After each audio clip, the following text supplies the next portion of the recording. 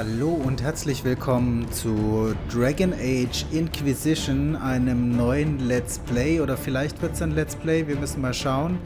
Äh, zunächst mal würde ich sagen, es ist ein angespielt. Ähm, ich werde es einfach mal ausprobieren, ich muss mal schauen, es kann sein, dass die Spielwelt einfach zu groß ist und ich am Ende dann äh, einfach hin und her renne und zwar ein bisschen Spaß habe, aber das einfach keinen Spaß macht zum Zuschauen.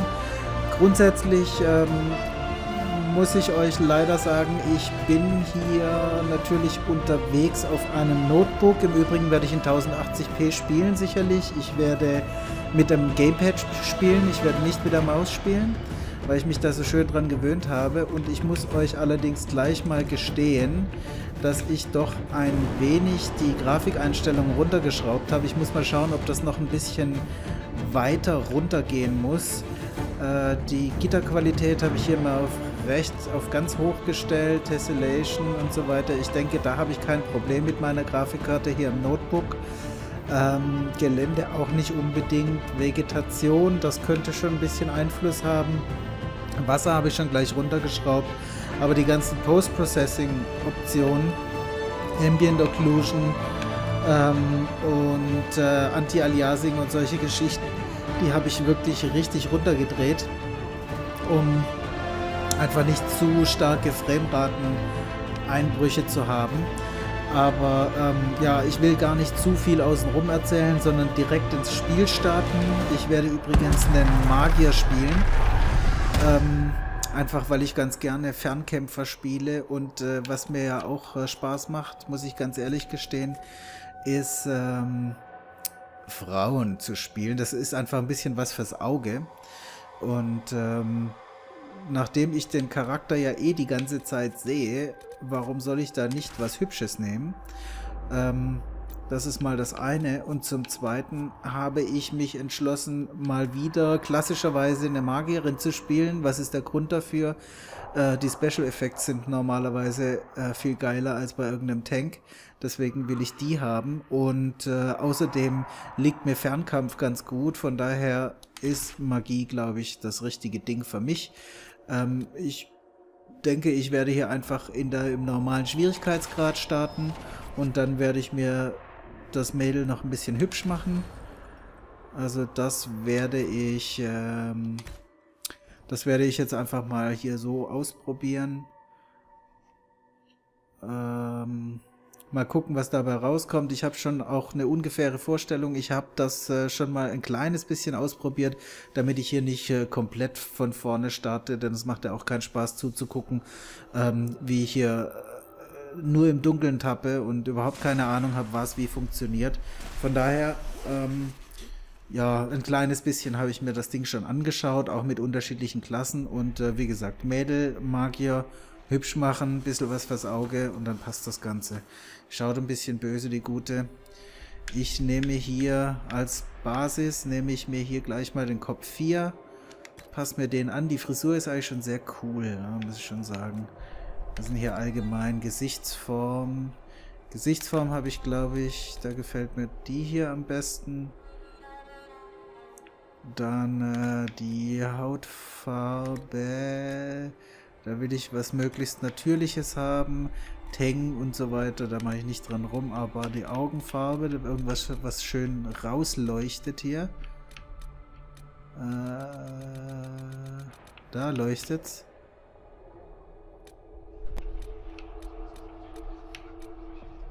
Das ist zu dunkel, oder? Grüne Augen, wenn ich da was... Aber die leuchten nicht richtig. Ja, die blauen, die leuchten halt einfach am besten. Oder sowas Graues. Aber ich glaube, ich nehme ich nehm die blauen.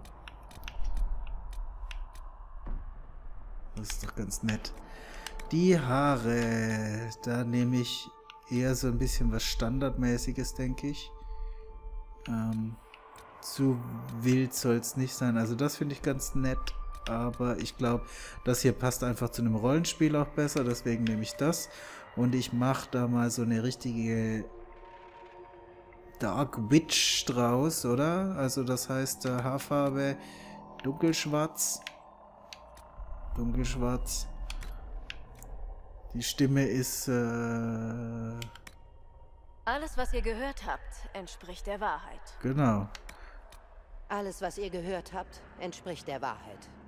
Ja, ich will lieber hier. Alles, was ihr gehört habt, entspricht der Wahrheit. Okay, annehmen. Ich hoffe einfach, dass ich helfen kann. Ja, annehmen, annehmen, annehmen. Solange wir Erfolg haben, ist Zurück. mir alles andere egal. So, Kopf und Ohren.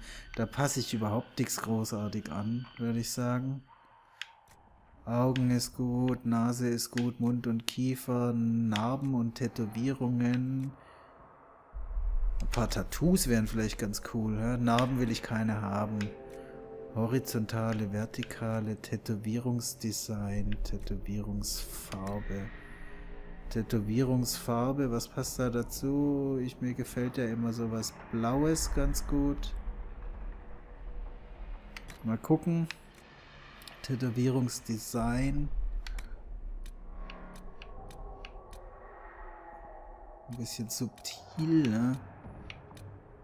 Hm.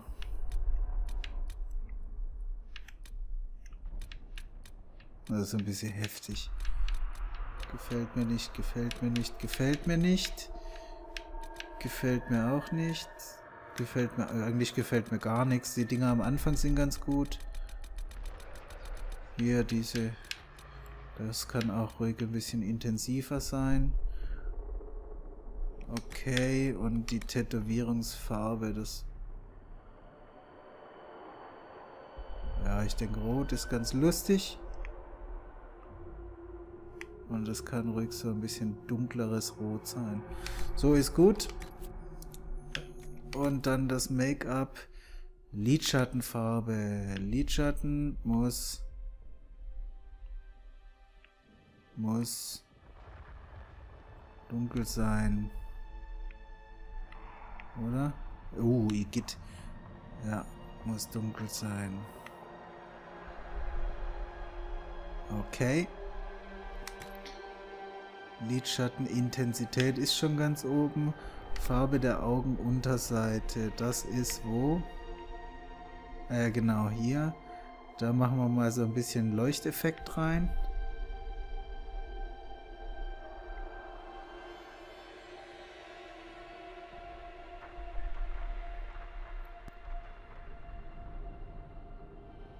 So ist gut. Halt. Farbe der braunen Unterseite machen wir auch dunkel. Intensität darf ruhig dunkler sein. Die Wimpernfarbe ist ja wohl hoffentlich schwarz. Die Lidstrichfarbe äh, wo ist der Lidstrich? Lidstrich, Lidstrich. Aha, okay. Muss auch dunkel sein, da gibt es überhaupt nichts. Dann die Lidstrich-Intensität. Können wir ein bisschen... Naja, okay, da passiert nicht recht viel. Die Rougefarbe. Ich mache hier so ein bisschen rußigen Look. So, und dann die Rouge-Intensität. Nicht zu viel, würde ich sagen, aber darf ruhig ein bisschen dreckig aussehen. Die Lippenfarbe. Lippen, die müssen jetzt nicht unbedingt, finde ich, ähm, können ruhig ein bisschen natürlicher sein.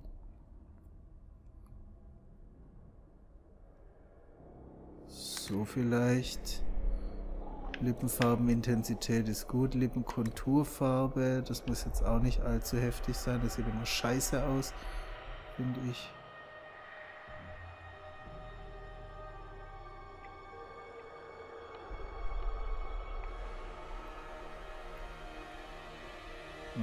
Okay. Hm. Na, äh, nee.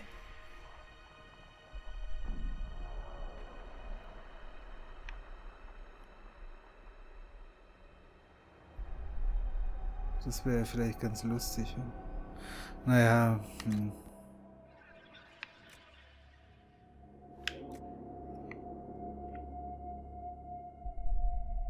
Okay, und diesen super heftigen Lippenglanz will ich auch nicht haben. So, ist gut. Halt. Wieder nochmal zurück. So, und ich würde sagen, das war's. Hm? Also die Lippen gefallen mir nicht. sorry. Nochmal ganz kurz. Lippenfarbe.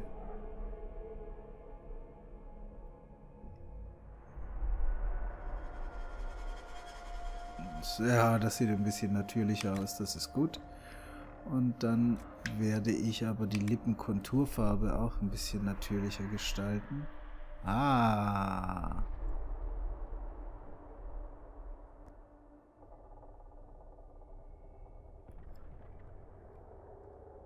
So. Und gehe ich dann nochmal rein und mache das. Ja. So ist gut. Ja, einwandfrei. Soll ja auch Spaß machen zu spielen. Änderungen übernehmen. Äh, ja, wie heißt denn die gute? Äh,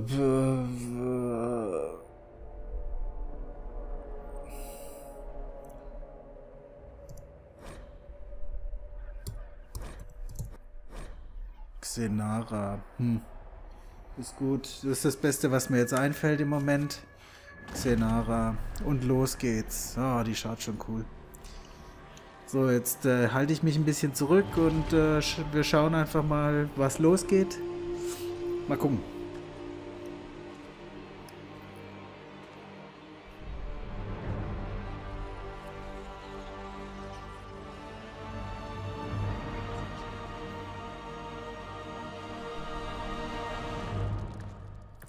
Ist alles ein bisschen langatmig.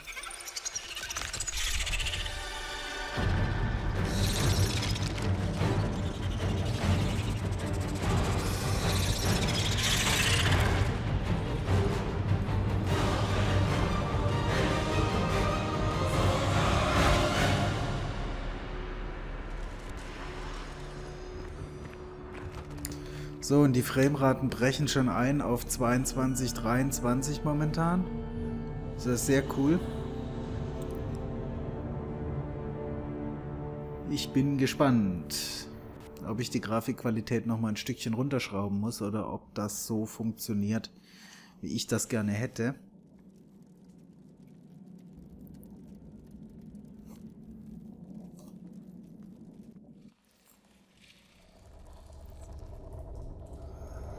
So, gefangen bin ich auch schon. So doll. Ups, und ich habe wohl den Strom an die Stromleitung gelangt. Hm.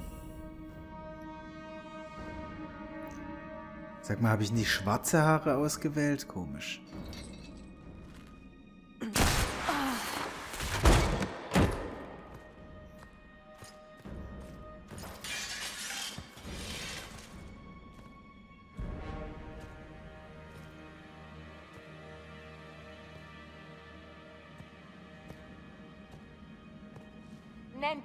Nennt mir einen Grund, warum wir euch nicht auf der Stelle töten sollen. Das Konklave ist vernichtet. Alle, die ihm beiwohnten, sind tot. Ja, und? Alle außer euch. Ja. Verwende linke Steuerkreuz und A. Antwort im Dialograd. Das ist wohl das, Dia das Dialograd. Das ist schrecklich. Alle sind tot? Was meint ihr damit? Tot. Erklärt mir das! Britze. Ich habe an die Starkstromleitung gelangt. Kann ich nicht. Was soll das heißen? Ihr könnt es nicht. Ich weiß nicht, was das ist oder woher ich es habe. Ihr lügt! Wir brauchen sie, Cassandra. So, bei einigen Dialogen kannst du auf bestimmte Situationen emotional reagieren. Ist dies der Fall, erscheinen bestimmte Symbole, die zeigen, welches Gefühl mit welcher Antwort verbunden ist. Aha. Heulen, trotzig sein, verwirrt sein, verwirrt. Ah, das ist natürlich sehr gut. Lasst mich gehen, kämpferisch irgendwie, was? Äh, ich würde mal sagen, verwirrt sein ist recht neutral. Hm? Ich verstehe das alles nicht. Erinnert ihr euch, was geschehen ist? Wie das alles begann? Ich erinnere mich, dass ich gerannt bin. Irgendwelche Dinge haben mich gejagt. Und Ja. dann war da eine Frau. Es waren Eine Spinnen. Frau? Sie hat die Hand nach mir ausgestreckt. Doch dann... Geht ihr ins vorgeschobene Lager, Liliana. Ich werde sie zum Riss bringen. Liliana. Okay, muss man sich gleich mal merken. Cassandra, Liliana und Riss. Was ist geschehen? Es ist einfacher, wenn ich es euch zeige. Genau, zeig's mir mal. Aber mach schnell. Mir ist äh, schon ein bisschen langweilig.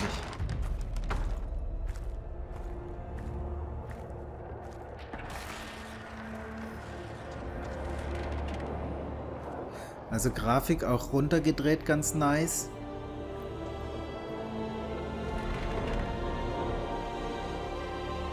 Ich, ja, diese Risse sind doch hübsch. Ein gewaltiger Riss in die Welt der Dämonen, der mit jeder Stunde, die vergeht, größer wird.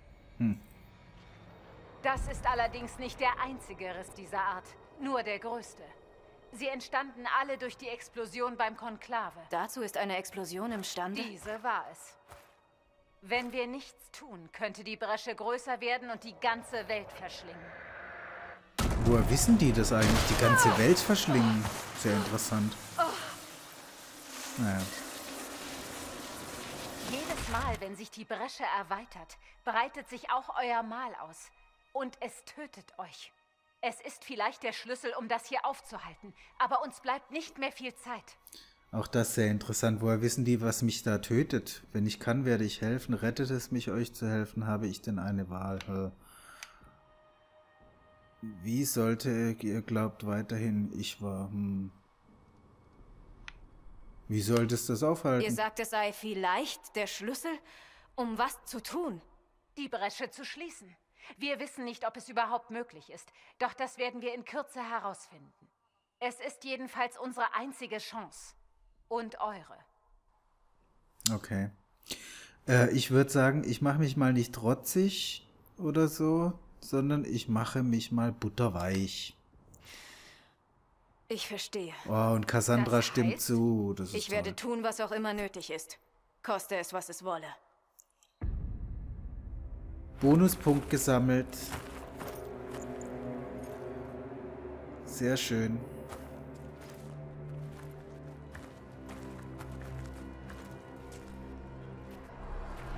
Für sie steht eure Schuld fest. Sie brauchen diese Erklärung. Die Bewohner Havens trauern um ihre Heiligkeit, die göttliche Justinia, das Oberhaupt der Kirche. Das Konklave war ihre Idee.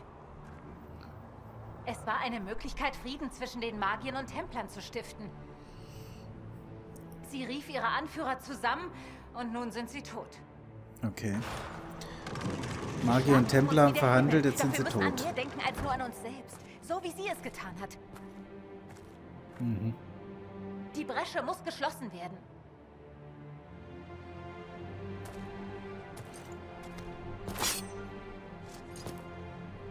Ihr werdet einen gerechten Prozess erhalten.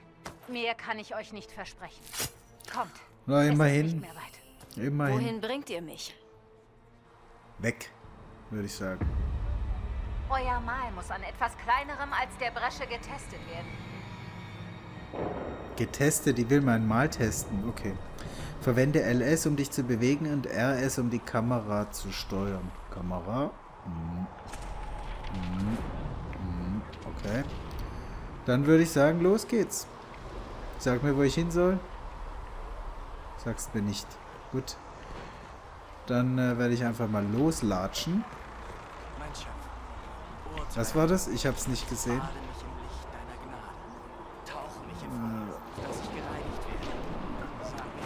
bei Ah, hupfen kann ich mit A. Öffnet das Tor. Wir gehen ins Tal.